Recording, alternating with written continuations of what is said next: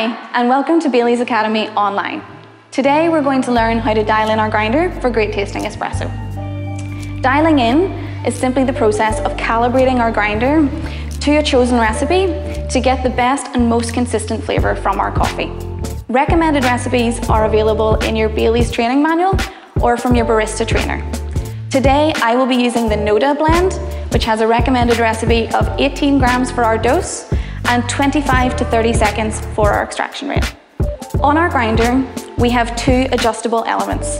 Our grind texture, which is controlled by the grind adjustment collar, and our dose, which is set with the electronic screen.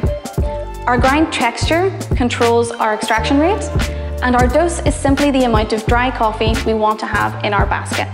It is very important to keep our dose and our extraction rate consistent, as this is the secret to consistently good tasting espresso. Let's get started. First, we need to prepare a test shot. Every dose for our test shots must be weighed and manually adjusted to the correct amount. So make sure to tare your handle to zero before grinding your dose. If you need a little more coffee to reach your desired dose, use the manual dispense button to add an extra burst of coffee. If you have too much, simply take some away with a spoon until you get it right. Once we have the correct dose in the basket, distribute, tamp and brew the shot. Take care to be consistent with each of your critical steps. It is especially important to keep your tamp pressure as consistent as possible when dialing in. Timing our shot allows us to determine if the grind texture is too coarse or too fine. Today, we are aiming for an extraction rate of between 25 to 30 seconds. If our espresso runs too quickly, it will be under-extracted and sour tasting. This is what happens when our grind texture is too coarse. If our espresso runs too slowly, it will be over-extracted and it will lack sweetness tasting more bitter. This happens when the grind texture is too fine. One way to remember this is that the water will run quickly through pebbles but slowly through sand. Coarsely ground coffee has plenty of little spaces in between the grinds, allowing the water to flow through more easily, like pebbles. Finely ground coffee has a lot less space for the water to flow through, slowing it down more like sand.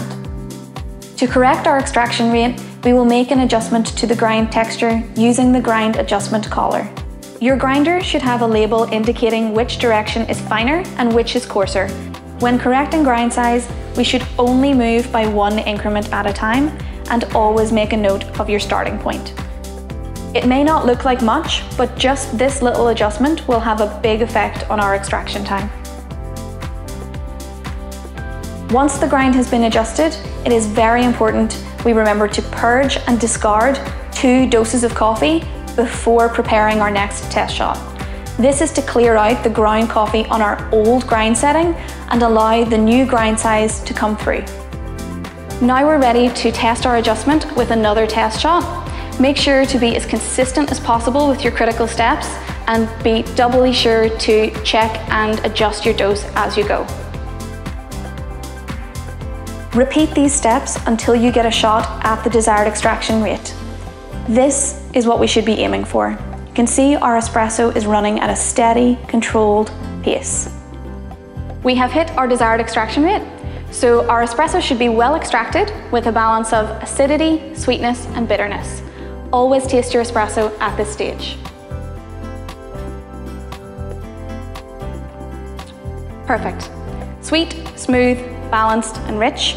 I'm very happy with that, but we're not quite done yet. We still need to calibrate our dose. We use the electronic keypad to adjust dose. First, press and hold the menu button until the screen displays four dashes. Then select the double shot button. We can see that the grinder works on time, not weight, so we must use a trial and error approach to get our dose just right. Here the grinder is grinding for six seconds, but I know from my last test shot that my dose is only 17 grams. I can use the plus and or minus buttons to tell the grinder to grind for slightly longer, then hold the menu button until the screen flashes twice to save this change. Make sure to continue weighing your dose and adjusting the programmed time accordingly until your dose is within 0.2 grams of the desired amount.